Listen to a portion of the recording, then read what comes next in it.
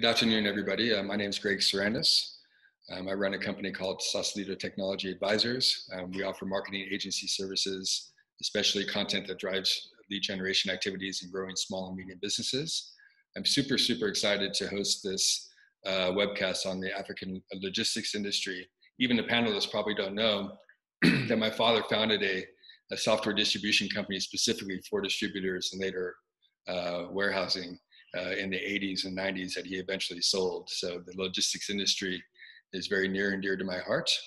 Um, I'm thrilled to introduce my uh, expert panel, starting with Shermandra.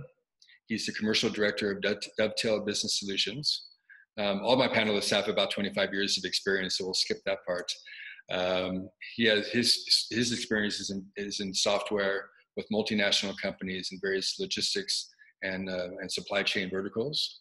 He also lectures at universities, and he co-authored a book that's on his right-hand shoulder, but because he's in full screen, he can't see it. It's called the Book on Logistics Software.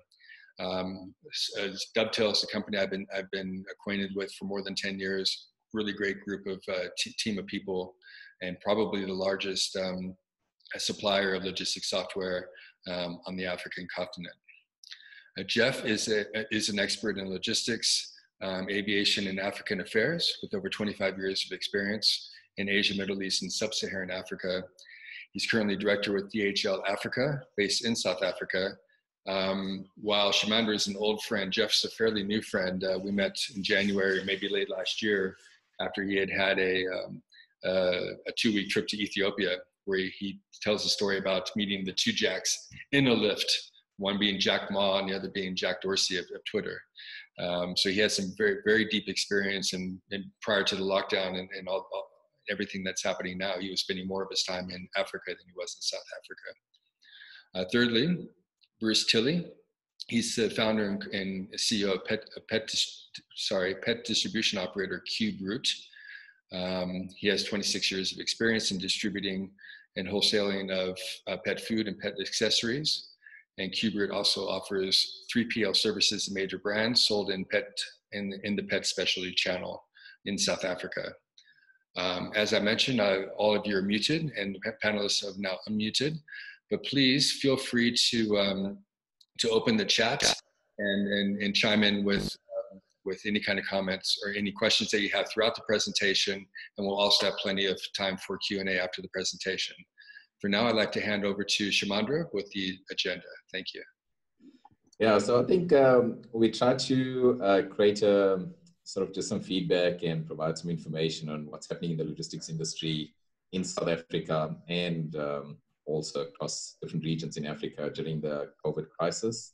Um, you know, what did what are people doing while we're still in lockdown? Um, is it all doom and gloom? Are there any positivities? Um, how is technology affecting um, the current situation and future plans for logistics and supply chain uh, organizations?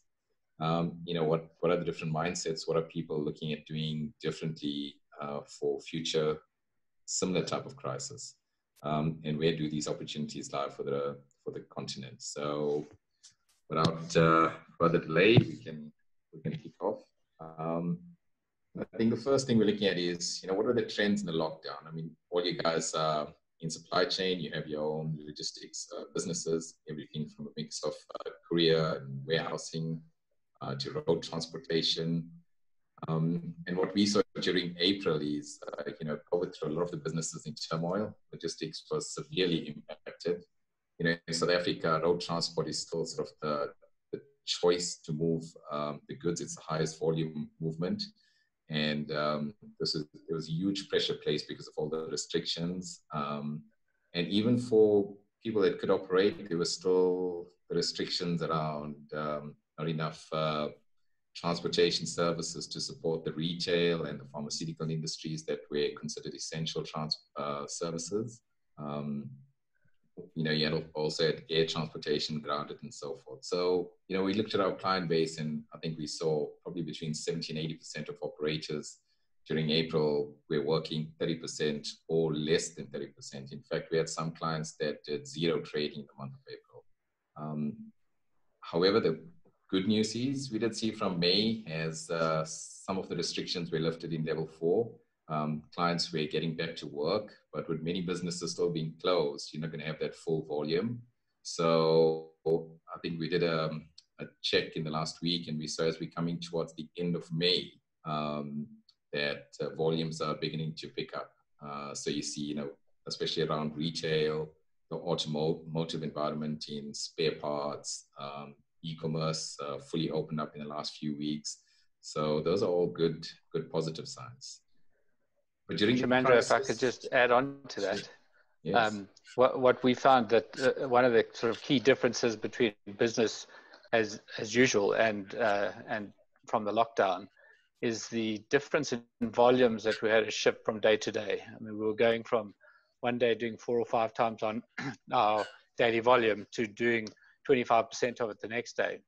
And so to be able to try and accommodate all of our customers in the very short time frame proved to be very difficult. And so we had to be very adaptable and, and flexible in, in how we deliver to customers. And, and I think you raise a key point. I mean, we, we spoke to a few clients and, and if you don't have that volume, you know, it's very difficult to be flexible or adaptable. And some customers just made the tough decision not to operate. So even though they might have had some percentage, so you know, I think Bruce, you're one of the, the few that managed to get get through some some of that uh, April volume, which is good. Um, you know, we also saw clients uh, trying to do different things in April. You know, you're not allowed to deliver sort of non-essential goods, um, and if that's not your focus, uh, some clients did say, well, can they get into that market? You know, how do they they try and deliver some pharmaceuticals? How do they deliver PPE equipment? Um, we also looked at people trying a different focus. You know, we had a few clients selling PPE and related products just to just to get some revenue into the business so that it's not sitting at zero or five percent or ten percent revenue.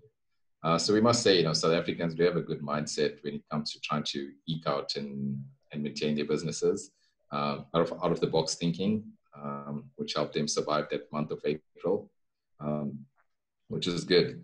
Um, I think as we move towards the first of June, uh, speaking, just liaising with different stakeholders in the in the environment, um, a lot of companies are seeing in the foreseeable future that there will be a uptick in volumes in the coming months. Um, you know, all industries are pretty much open from 1 June, and slowly you'll see you know more manufacturing, more import of goods, uh, but more warehousing, and people buying more product, um, especially with seasonal changes in the weather, there'll be more retail movements and related products. So all of that adds to increasing volume. So um, surprisingly, although April, May was tough, um, there are some companies that see more the positive side to say, hey, business will continue um, as much as this current um, tough times and doom and. And I think I think it's a it's, it's a good point. I think that you know, business will will pick, up significantly again, but I think the next six months are going to be a real tester for a lot of companies, uh, in particularly in the distribution where there's a down trading. Uh, people are looking, you know, price related deals more and more, um, and that becomes more difficult for companies that are delivering products. So uh, I think I think I think it's a pos- positive A, but I think the next uh, the next four to six months are going to be quite difficult. Thanks, Bruce. Jeff, uh, do you want to take us through the next section? Thank you very much, uh, Shermandra, and uh, good afternoon. What a topical uh, discussion, and it's coming at the right time. So, just uh, on what we're seeing there, um, the map of Africa, it's South Sub-Saharan Africa. It's just showing us where we are in different countries uh, in terms of lockdowns. Some countries are having a curfew, some other countries are having a tough, tough, tough uh, uh, lockdown. But what are the implications for the people in uh, logistics who are the um, uh, our guests and delegates here? Yeah, that is what is the question. So within Africa, there's something called the African uh, Continental Free Trade Agreement that is supposed to kick in in um, in uh, July. But with what is happening now, we are having uh, lockdowns across the board, meaning that uh, it will be delayed. So we're seeing a disruption within the supply chain. We're seeing our borders and airports closed. meaning that most of the people cannot move uh, various goods and uh, raw materials, especially from China. So this supply chain fracturing, meaning that uh, the, the modes of transports are being changed. For instance, you know, uh, right now, if we look at the statistics for January, uh, the, the, number of flights, number of passenger flights has declined by 94%. Uh, yeah, what uh, the flights that were flying within Africa in January compared to now has declined by six, uh, by 90, 94%, meaning only 6% is flying. So it puts strain in terms of the, the supply chain uh, of uh, goods. You know, e-commerce is quite big. Uh, people importing raw materials out of China. So we're seeing that being affected. Yeah, the, the rail line linking most of the countries in East Africa. So we're seeing that um, uh, being, being affected. We saw companies uh, doing what we call a pivoting. We're pivoting and repurposing. For instance, in South Africa, we saw Net, uh, Netflorist moving into online grocery deliveries because that's the new norm that is coming out of this. Rather than uh, not many people are buying flowers right now. People under lockdown were buying uh, goods and uh, the online business. If I was talking to uh, to Greg the other day and what is happening in Europe and in uh, in the States, where they are seeing it as Christmas every single day because the volumes have shot on online purchasing. So we're seeing these trends of digital tracking. So the what I'll call the Uberization of logistics. So there's a massive increase uh, on B2B uh, uh, business and B2C. Uh, Rail is also coming into being because uh, sea freight is quite uh, thing. So we're seeing within Africa uh, rail thing. But the key point that we need to watch, which presents both opportunities and threats, is the supply chain fracturing. There are some positives uh, coming out of there in terms of that small companies can start producing goods that they can supply to markets within the region and markets within South Africa. So that's uh, that's what this slide is talking about. Thank you, Shermandra. Thanks, Jeff. Yeah, I think um, as we look at that, Jeff, and all the restrictions where they can't be moving goods and people are not able to trade over the last sort of month or two, um, you know, what, what have people been doing in terms of technology? So instead of just sitting back, we've seen some clients actually use the opportunity to upgrade their systems. And I'm not just talking about you know logistics or warehouse or transport. People have looked at the ERPs and the CRM systems, and um, many of them have said, okay, let's prepare for the future. Uh, let's be proactive while we have this downtime. We still have resources available, so we can do an upgrade without affecting um, day-to-day operations. So I think that was also a bit surprising from our side when we had um, a number of clients actually contact us. But like I said, it's not just Dovetail. It was general when we speak to other service providers with different solutions. So, so that was actually quite good to keep people productive and keep IT generally going and stable. So they're just preparing to know once volumes pick up, once they're all back at work, they have good, solid, robust systems to actually uh, move with the times. And I think the, the, the point that Jeff made and Shermandra that you make on e-commerce, um, we're associated with the e-commerce business as well in the, in the pet industry. And we've seen tremendous growth in that business. And um, whilst e-commerce is always growing, you know, over the last few years, it grows far, far greater than any other sector in the, in the market. South Africa traditionally has had a big barrier for e-commerce, and that's the number of shopping centers we have per capita, and it's second highest to Dubai. But from this lockdown, where a lot of people are now going online, we've seen a big upswing in the, in, in the e-commerce side of our business. Uh, and that's opportunity for, for logistics companies and distribution companies because there will be tremendous growth in that. I mean, we still, we're still at a three or 4% of what, of, of the retail business online, but um, in the US, and I know specifically in the pet trade, it's around 30%. So that's the opportunity for e-commerce in this country, um, and then obviously the, the courier and distribution businesses that go alongside with that. So big opportunities there. Yeah, and I think um, as companies move more towards becoming e-com retailers or enhancing those services rather than physical stores, um, it does open up. You know, people were speaking about dark warehouses a few years ago, but it hasn't really taken off, especially here in South Africa. Um, but you know, in the last month or two, we've probably had dark restaurants. You know, everyone's in the last month you've been able to buy food only online and have it delivered to you. You can't go to the do a pickup or you can't go and sit in a restaurant. And that's pretty much a dark type of warehouse and dark type environment where it's manufactured and you just order online and it's delivered to you. Um, and you know that brings about the need for solutions like mobility and contactless delivery. Um, and mobility is great. Everyone loves the EPOD and the sign on glass.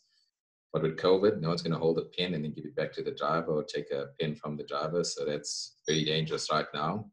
So, you know, how do we get smarter on that? You know, um, you know, we've been looking at things like pin codes and focusing on um, photos. Uh, so when you do a delivery, you can take a photo of that and that becomes an acceptable POD. Um, and that's slowly going to become the norm um, in, in the market. You know, Jeff, uh, you in DHL, I'm sure you guys are probably seeing similar things and similar requirements that you need to deal with.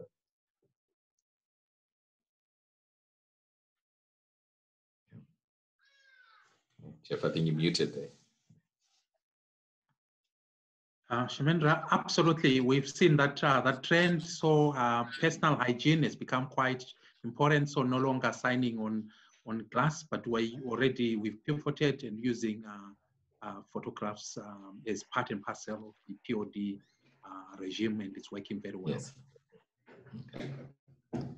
Bruce, I know in your own business you've also looked at different solutions in terms of technology to try and um, eliminate too much human interaction and yeah, I, I, I, think I think well specifically with COVID nineteen, you know, like with every company, we have to comply with what the regulations uh, that they stipulate in terms of being able to trade.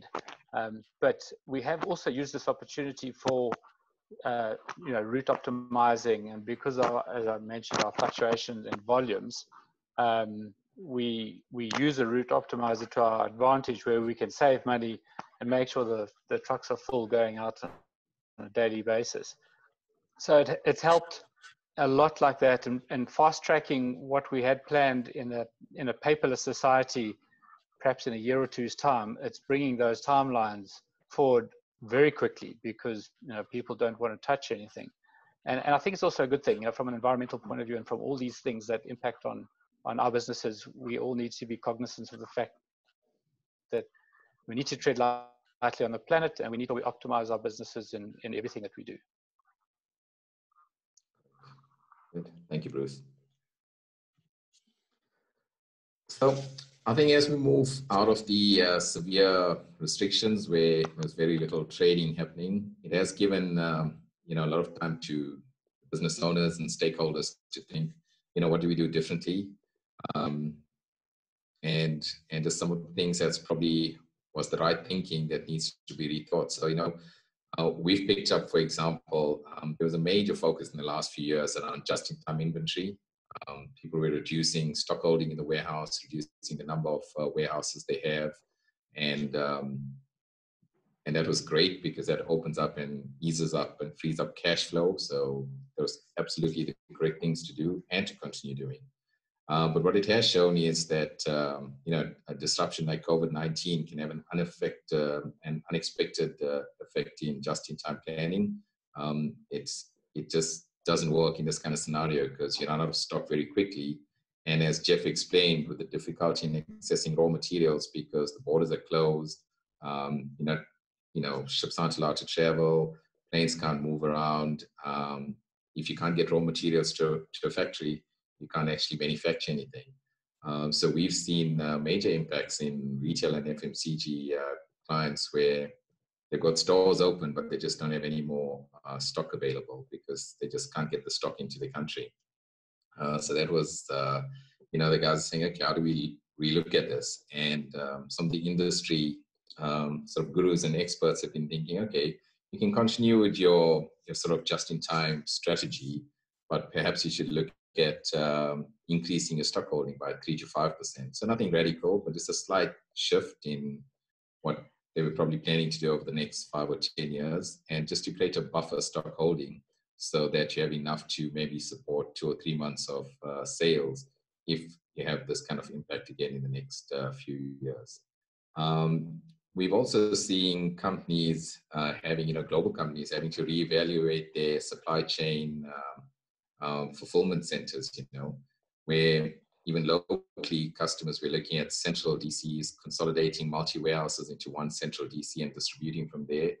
Now, how do you how does that work? You know, if you if you have a DC in Durban and you need to support stores across the country and you're not allowed to go across the province, well, you can't actually get your goods into your stores. Um, so customers had to, logistics and warehousing guys had to react very quickly to set up temporary facilities in different provinces, just so that they could service their stores. So again, you know, having a central DC is great because it's it's less cost, easier to manage, you know, uh, less people, etc but you got to have that flexibility that uh, you can actually set up a temp facility and do distribution from different regions. Um, and I think some of the positive that comes out of that is a great news for anyone in 3PL warehousing and distribution services, because um, no one can just go out there and buy a new warehouse in a month or two months time. But if you're a 3PL company, you know you've got space, you've got warehouses, you've got the infrastructure in place, and you can offer these services as becoming the um, sort of support structure to retailers, FMCG, or any company just looking for some extra space to keep their buffer stock. So we've seen that as a positive to say, hey, if 3PL companies can attract these services, you know, maybe they increase their volumes and maybe it helps offset some of their losses from the first quarter and helps them pick up for the rest of the year. So again, hopefully there's some positive coming out of this uh, tough challenges. Yeah, Shermandra.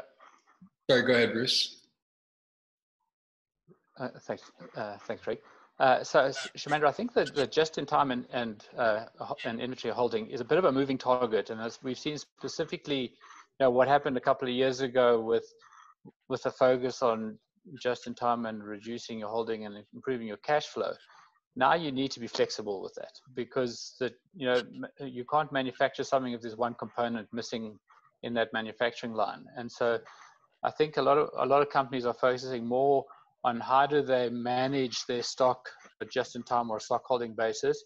And that view changes uh, quicker than you, know, you might look at it in a few months or, or, or on a, a, a, semester basis. But the, um, the, the speed in which you can adapt, I think, is going to be the, the future of, of the success. You know, the companies that can't adapt quickly to market changes and market dynamics will struggle a bit. The companies that can adapt will be will be a bit more successful. And as far as the 3PL service is concerned, I think everyone's looking at diversifying their businesses in some way to get more revenue in. I mean, I think that's a, that's been a standard practice with our economy over the last few years as it continues to struggle, and specifically now with the with the down, you know, with the negative growth. I mean, the banks are looking at between six and ten percent down on the on the GDP. Um, more and more business will look at diversifying and how can they get their assets to sweat more and uh, and offer you know more 3PL type services. Good. Thanks, Bruce.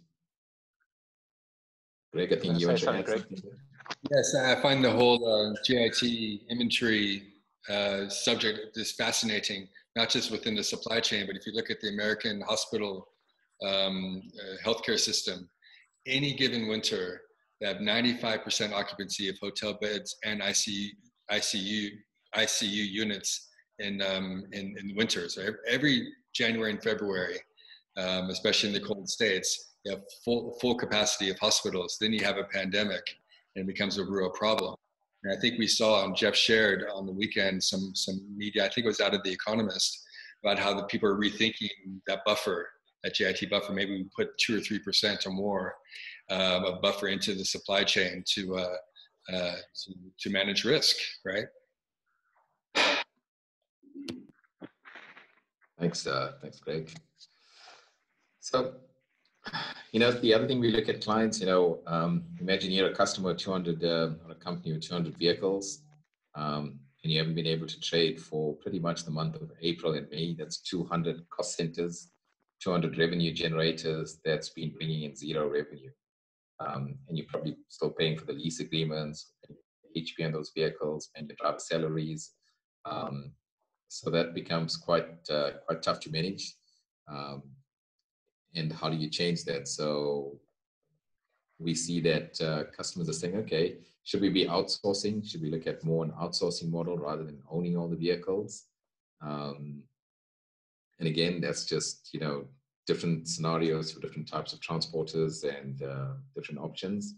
But in the courier world, um, I think if I refer back to the Uberification that Jeff was talking about, you know, it's probably heading more to that. We're looking at a case study in Dubai where their road traffic um, and transport authority has um, sort of courier agreements with the taxi industry.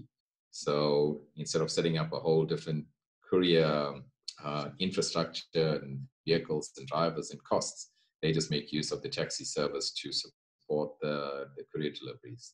Um, Aramex was also an interesting one in Jordan and Saudi Arabia. They made a decision to do something called um, Aramex Fleet, which is sort of a crowdsourcing module that allows them to scale up or down depending on um, the need for vehicles and depending on peak volumes, etc.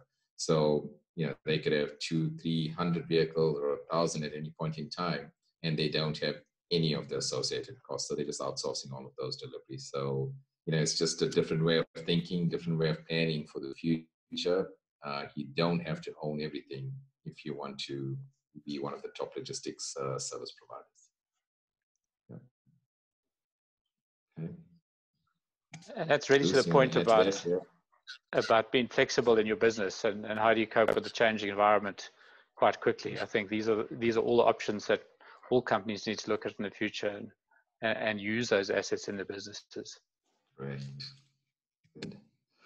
Yeah, and so in terms of different uh, different things, I think everyone's been looking at their businesses and saying, "Hey, how do we use this opportunity to really think and restructure the business we have today?" that doesn't matter what type of environment you're in.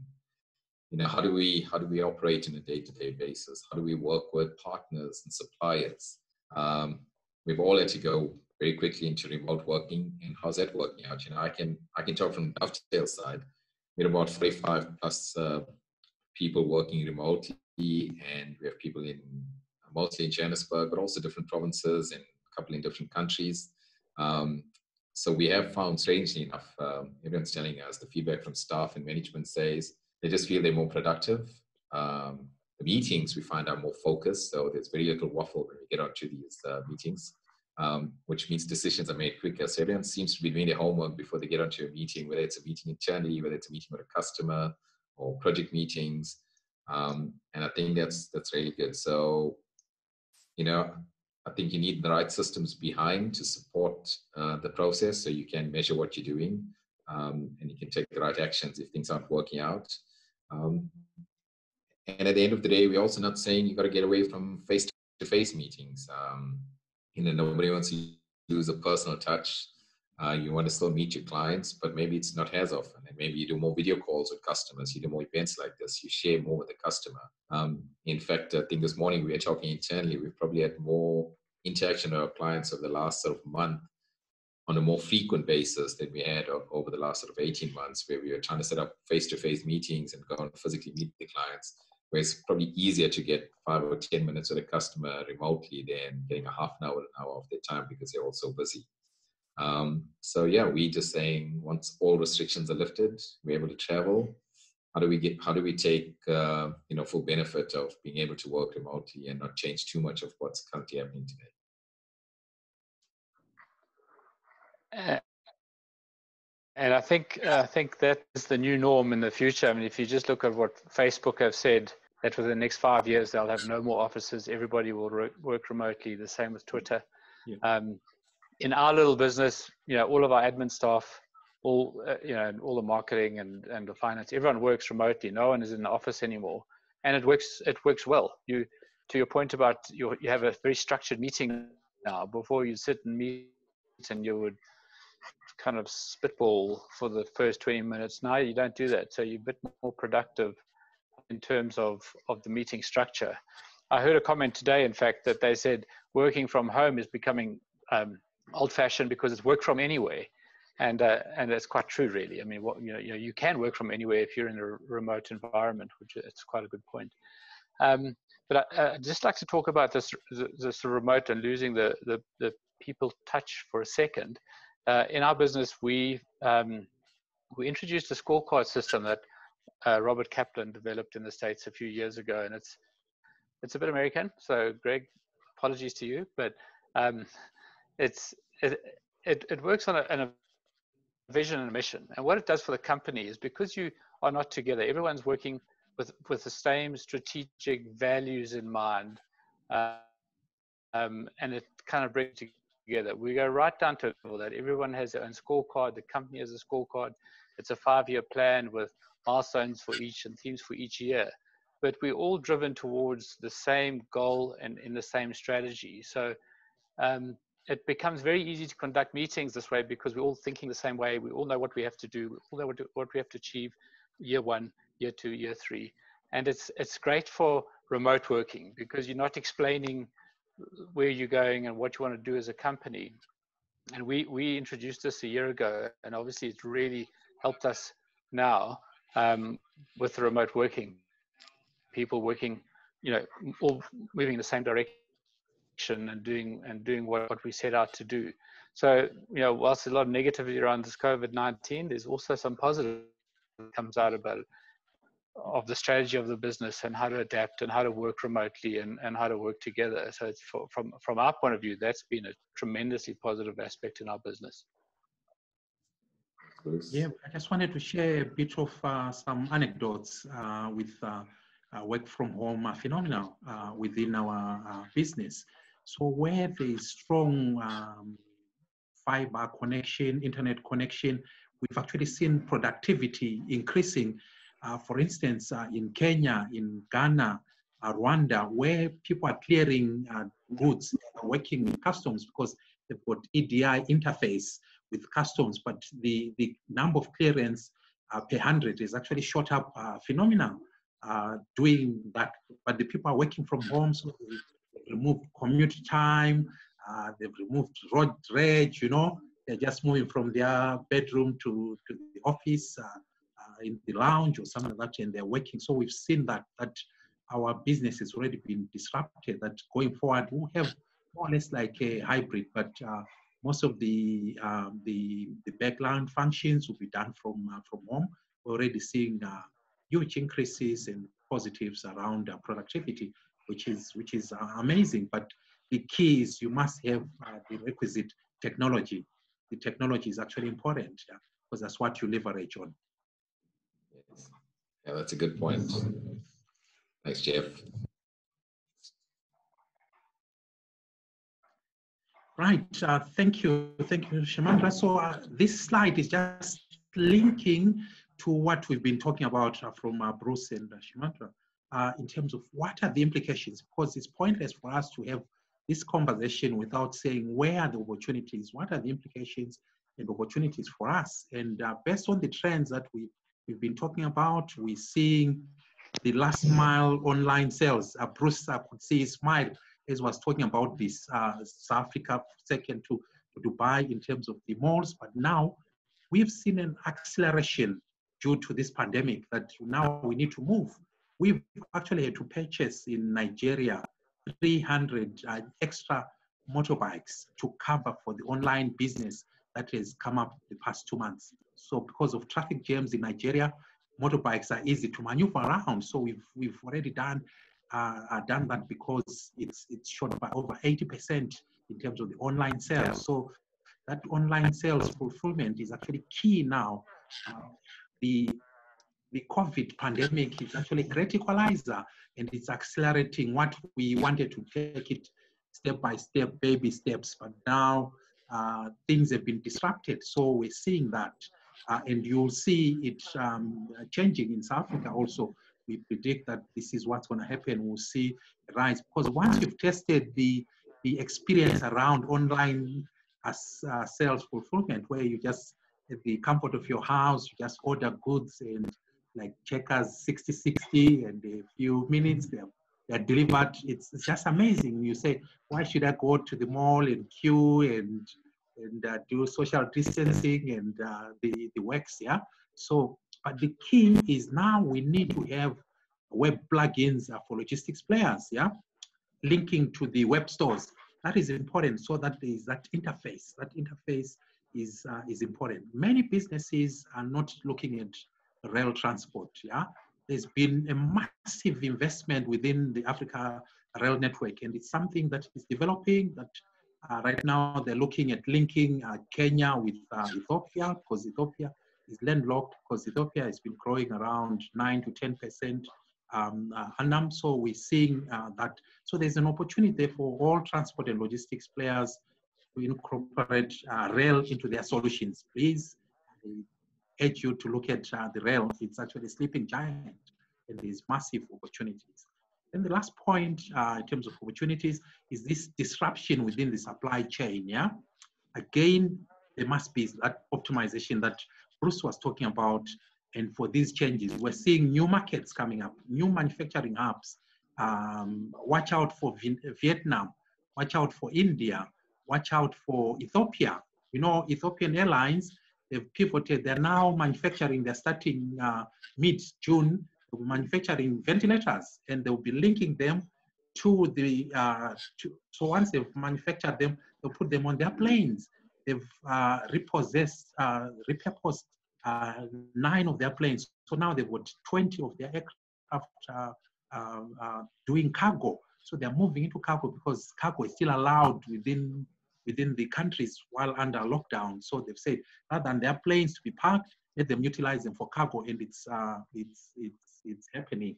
Then the last point that I want to talk about is the strategic alliances within the airlines, because we are going to see lots of airlines are crashing in the in the market. Some of those that are grounded will never come back. Yeah, but we've got the big ones like Ethiopian Airlines that are assisting the small ones and say, "We are the big brothers. We can help you."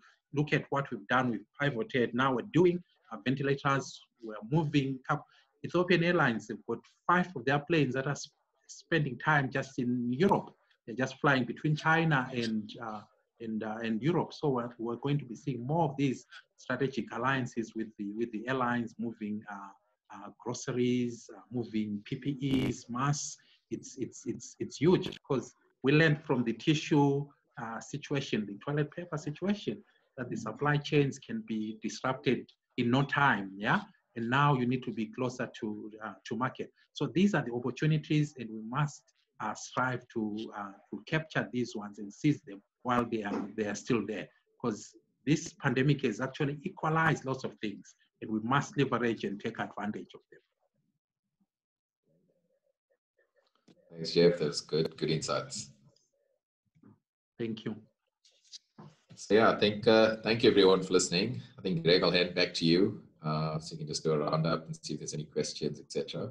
Yeah, thanks everybody. Um, that was, I mean, my mind is blown. That was such a, a, a data and information rich presentation. I'd like to turn over to the to the guest panelists, or sorry, the guests to. Uh, I mean, I, you can either unmute yourself and ask a question or put it into the chat. Um, normally, there's an awkward silence of about 30 seconds, so I'll, I'll ask the first question. Um, um, Woolworths, I can go on the Woolworths website in South Africa, and I did on Saturday, and they said, fantastic, we can deliver to you on Thursday. On Sunday morning, I went to the Checkers 6060s app. I ordered a basket of goods, and I actually had to interrupt my yoga session because they came in 45 minutes. What's the difference? Why is why is Checkers able to get it so right and Woolworths able to get it so wrong?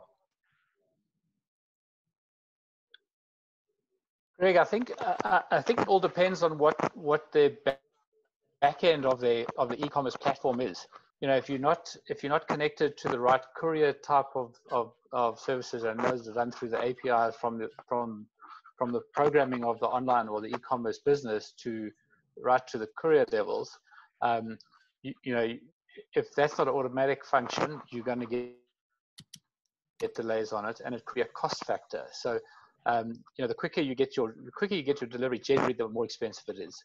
Um, so the you know those are the two sort of factors that will determine how quickly you get uh, you get your delivery.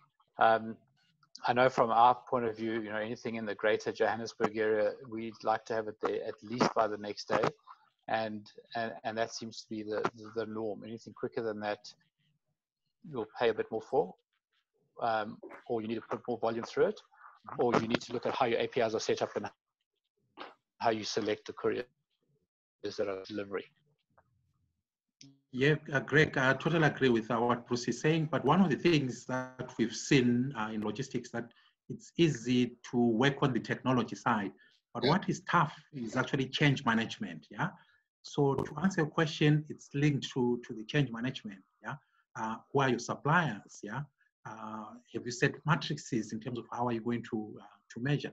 Have you done uh, work studies and so forth? So it's the change management aspect of that one. Everyone wants to do online and so forth, but uh, the proof of the pudding is now when uh, when you need to work on the change management.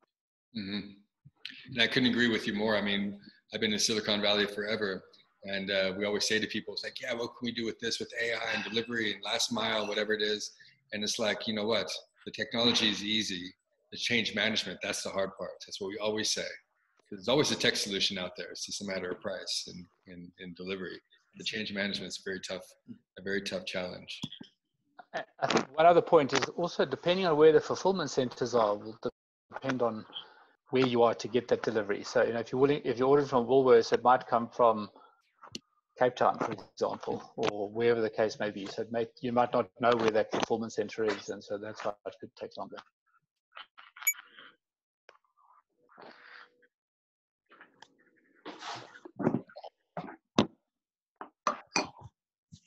My question for Jeff, um, and anybody can chime in with questions at this point in time.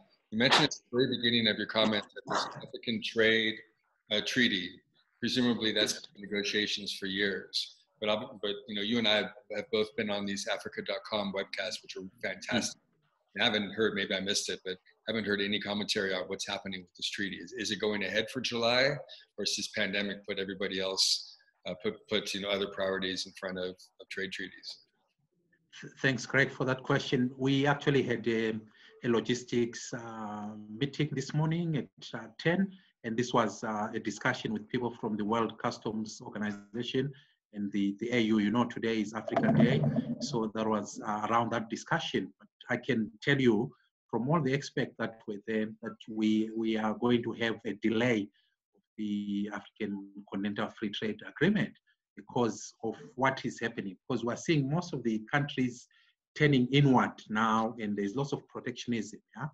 And by the way, with this agreement, the, the, the issue is do you open uh, the markets and increase intra-African uh, trade, but lose on some of the, um, uh, the tariffs and uh, revenues that the countries rely on. So most of the countries are saying it's not yet ready. It was supposed to go in July, but I can tell you there will be some uh, some delays uh, around that given what has been happening because the countries, as you saw from that map, going to open uh, lockdowns at different uh, different points of uh, points of view. But um, many countries already signed, so 34 countries already signed for, for the agreement, but uh, definitely it's going to be delay, delayed. July, the July 1 start is, is a non-starter now. Yeah. Well, if there's no further questions at this time, uh, feel free to, uh, um, talking to the guests now, to send questions through, through to us separately. Um, but we are out of time. So thank you, Bruce. Thank you, Jeff. Thank you, Shermandra, uh, for all the efforts you put into this presentation, all the intelligence that you brought to it. Uh, for the guests, I will be sending out um, I will be sending out the recording within the next uh, couple of days, and you can feel free to share that um, uh, with your with with your with your colleagues. Okay, thanks everybody. Thank you, Greg. Thank you thanks very much. Thank you. Thank you. Thank you, everybody. Good afternoon.